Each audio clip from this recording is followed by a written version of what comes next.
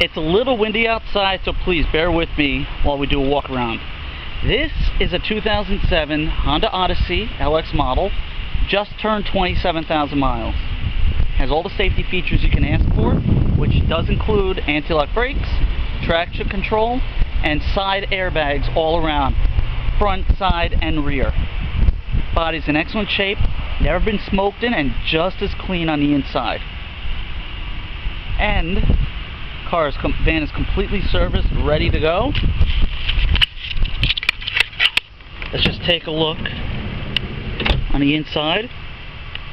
You have the captain's chairs in the middle, so if you do have older kids or adults, you don't have to squish them next to each other.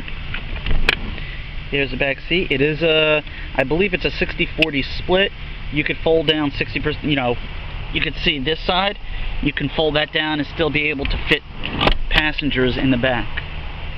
Now besides everything that I mentioned, it does have rear air conditioning, as well as a CD player and remote keyless entry.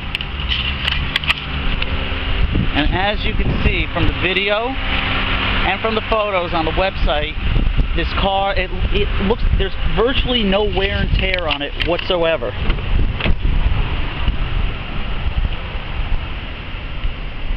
Now you don't just have the airbags over here on the seat, you do have them all throughout the cabin of the van. Let me just show you over here, which is on the pillar, and then in the back, like I said, all over the place. You will notice that there are no lights on the dash. Like I said, just turned 27,000 miles. AM FM CD, air conditioning controls, couple power outlets, bunch of storage compartments, and the traction control button, which um, I for versatile stability control